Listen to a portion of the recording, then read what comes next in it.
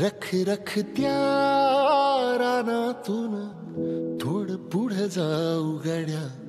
पाऊल थकल नाही गड्या. पाऊल थकल नाही. सुकलेल्या भाकरीला पाण्यासंग खाऊ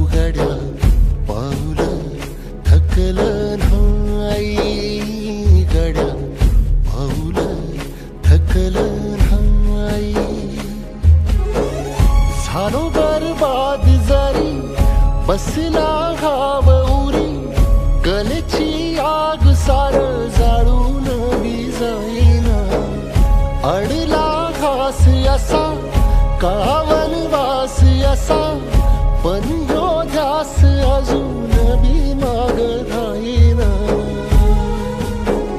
फिरला त्यो वासा घर फिरलं नाही गड्या.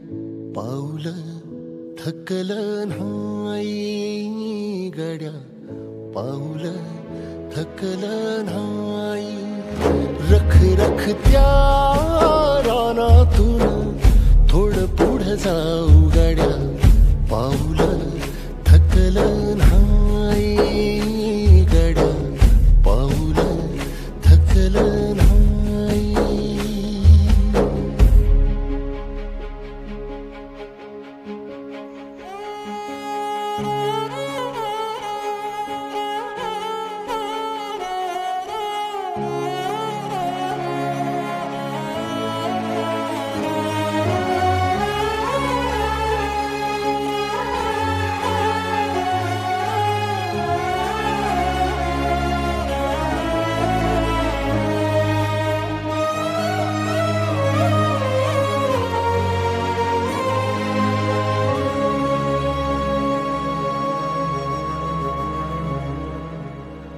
काळ रात आली तरी पडल सपान.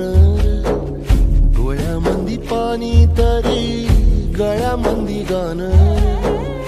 याचा हात पाठीवर सोनियाची खान. शर्मेन नाही कधी झुक ज्यांच्या पदरोपदरी पावलं पावली दुःख असते.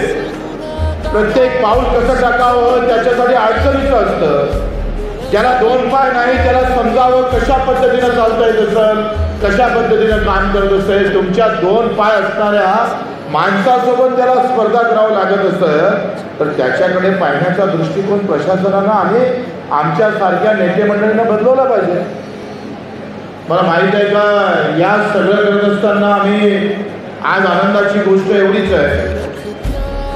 का पहिले आम्हाला तुमच्या कार्यालयात यावं लागलं? होतं तर तीन टक्के खर्च करा पाच टक्के खर्च करा. मग तुम्ही आम्हाला गुन्हे दाखल करत होते. असं चांगलं नाही असा आवाज मोठा आवाज करू नका. पण आज कार्यालय तुमच्याजवळ आलेला आहे साहित्य वाटप करायला लागला आहे हा देशातला सगळ्यात मोठा विजय आहे. हा सन्मान आहे. कारण संघर्षातून काही ना काही भेटतच असतं. संघर्षातून या देशाला स्वातंत्र्य भेटतं संघर्षातूनच आम्ही पाहिलोय माननीय शिंदे साहेबांना आपल्याला दिव्यांग मंत्रालय दिलं. हे जगातलं पहिलं दिव्यांग मंत्रालय असं मी समजतो. कारण आता या सगळ्या भाकरीला पाण्यासंग खाऊ गड्या.